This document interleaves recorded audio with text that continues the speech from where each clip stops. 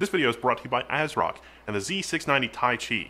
A perfect platform for all 12th generation Intel Core processors. That's LGA 1700. In particular, it's got dual LAN, a killer E3100 2.5 gig LAN, and an Intel Gigabit LAN, along with the killer AX1675 Wi-Fi 6E plus Bluetooth wireless adapter. Did you know you can use these with a killer NIC software and combine all of those NICs together into a single connection? That's right, when you're playing a game and doing bulk downloads and any other kind of transfer, it'll figure out which connection is the best to use for that and automatically use it. You can also prioritize traffic so your game gets the lowest latency path out of the system. That's all in the killer software. I did a video on that in the past. You should check that out because the killer setup here is pretty similar, except this is on the Z690 platform. Oh, and did I mention this thing has Thunderbolt 4, a Realtek ALC1220 codec with a Sabre audio DAC, and even more features than you can really shake a stick at. DDR5 6400, there's even an extra USB breakout header in the box, so you get two more USB ports that you can see on the back and front panel connections, so it's pretty awesome.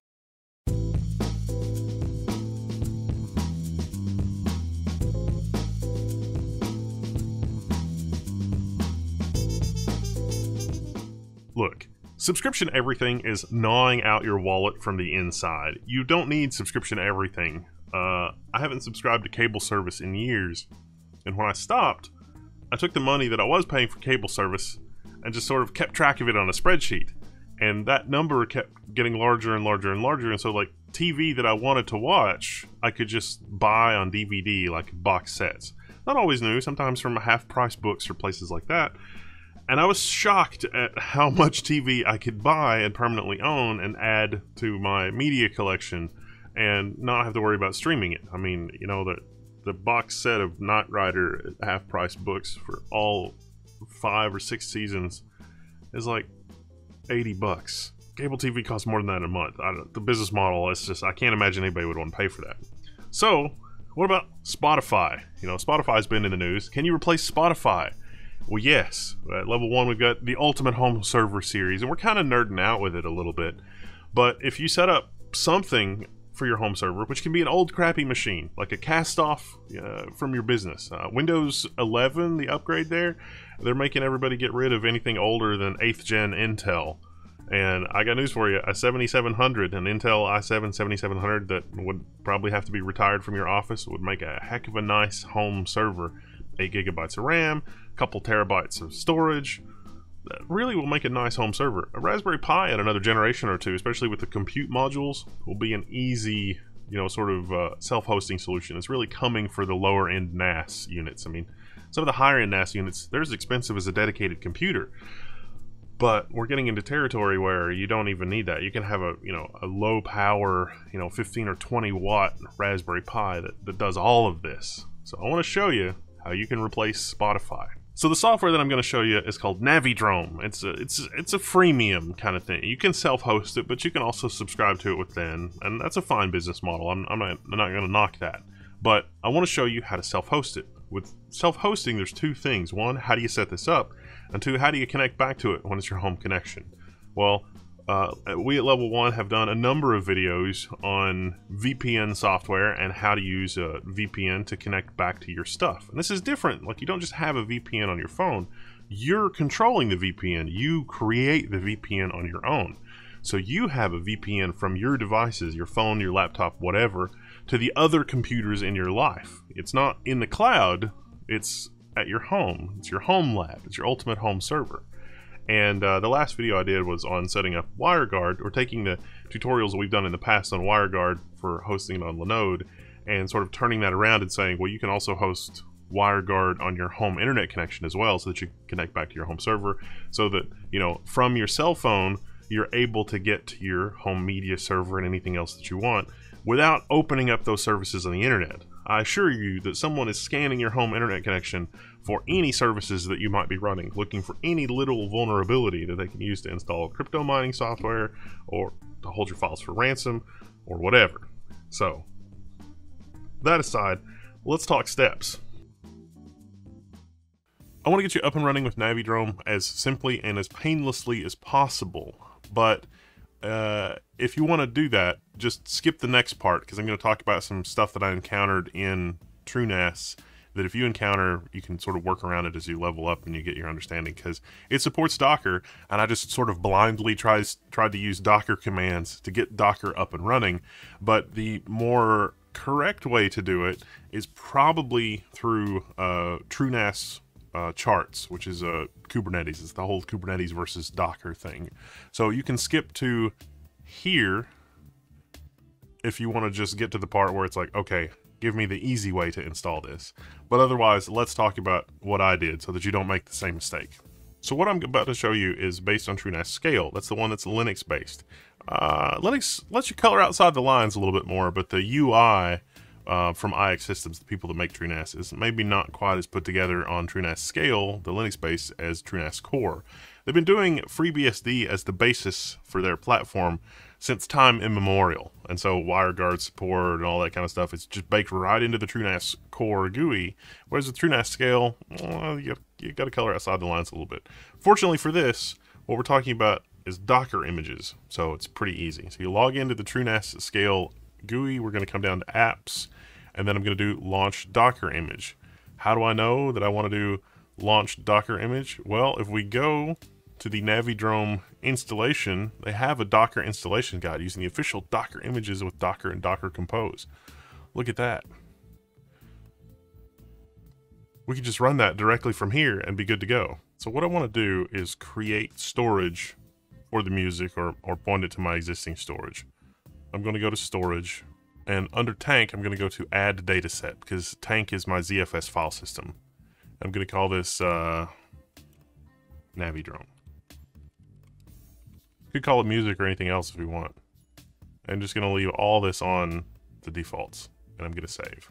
Now, under that data set, I'm going to create two more data sets, one for data and one for music, and that's because that's what the Navidrome documentation recommends. Not different data sets, it uses folders, but we're going to use data sets because it's fine. Also going to turn off compression on the music because the music is already compressed. Doesn't really save us anything. I mean, that, that compression is so lightweight that it's barely any overhead. But there you go. So I'll leave that at the defaults for all of this, and I will save. So now the, the path for this is going to be slash tank slash navidrome slash data and slash music. That's going to be important when we configure our container. So I'm going to come over to apps here, and I'm going to do launch Docker image. We'll call it navi, navidrome, next. And then we're going to, oops, we're going to come over to our documentation Navidrome, and it's Navidrome latest.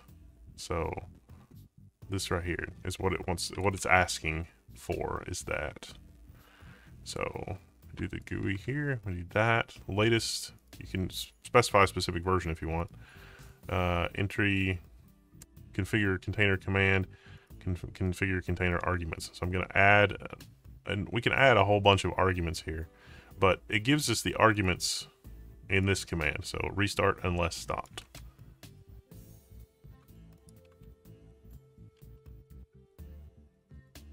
And the port is 4533 by default.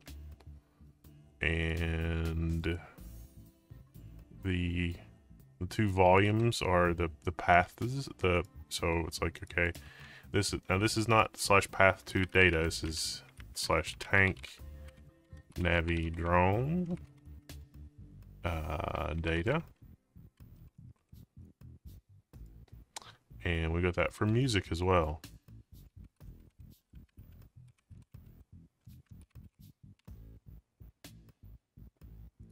See here in our, our, music. Now this also lets you specify the user and group ID. I don't think we need this for, for TrueNAS. And then restart unless stopped. This will automatically restart it uh, which is great.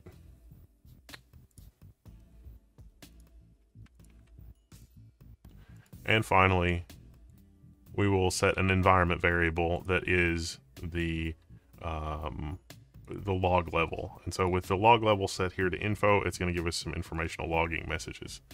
Oh, I could have set it in environment variables here in the GUI. Whoops. Oh well. Networking. Let's add an external interface.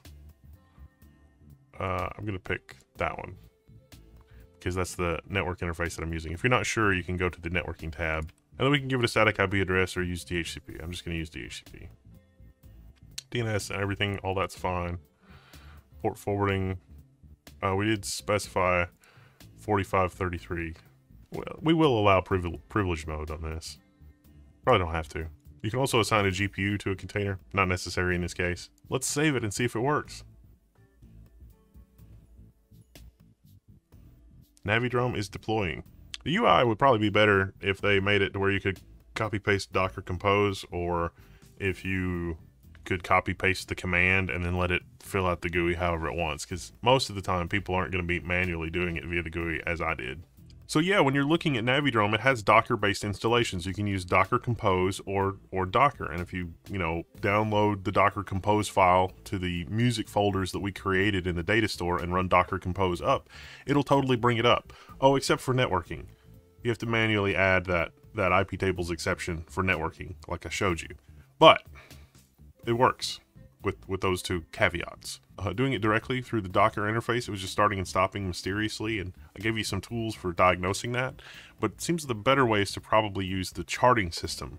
And so there's a helpful how-to, and I would definitely recommend that you do this because you can install more additional stuff in TrueCharts, and Navidrome just happened to be there.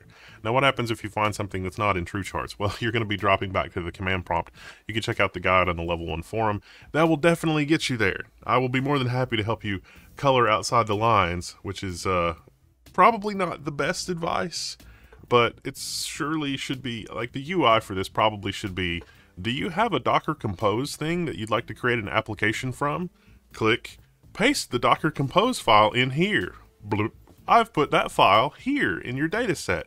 Would you like to run Docker Compose for this now? And it just reads and parses and that does everything. You know, I know if wishes were horses, but that's there's there's got to be a better approach than, than what we have here.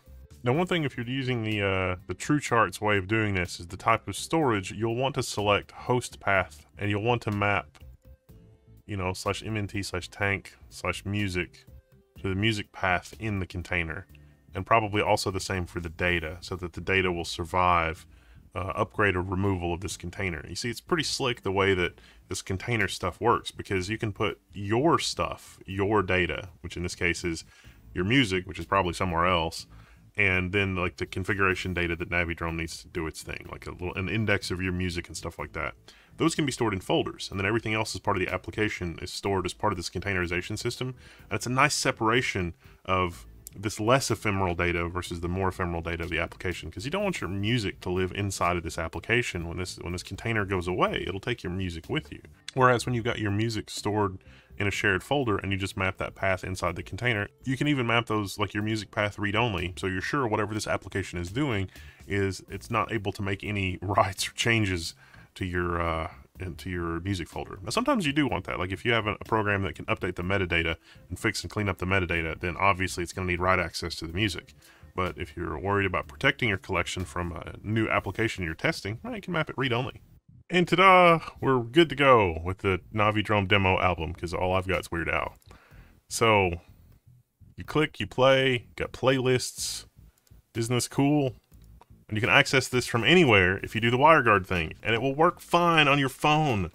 Your phone, your iPhone, your Android phone, your laptop, your tablet, whatever you want, whatever you can run WireGuard on securely without exposing it to the internet. Now, you can expose it to the internet if you want, but then you have to keep up with updating it and make sure that it's updated as soon as updates are available because of the security aspect. The more popular this gets, the greater the chance somebody will find a flaw in it that lets them take over remotely. The chances of that happening with something like WireGuard or other VPN software like OpenVPN is much, much smaller, although non zero, as compared with a web application like this. But this goes to show you, too, if you start thinking bigger picture here, like Discord.